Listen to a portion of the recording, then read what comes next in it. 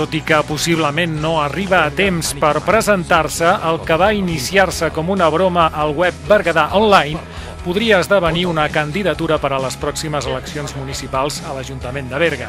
El Penis, nom del partit polític creat en conya per David Cols, està recollint aquests dies signatures en diferents punts de la ciutat per aconseguir les 500 adhesions necessàries per poder registrar-lo al jutjat i d'aquesta manera presentar candidatura oficial a les pròximes eleccions.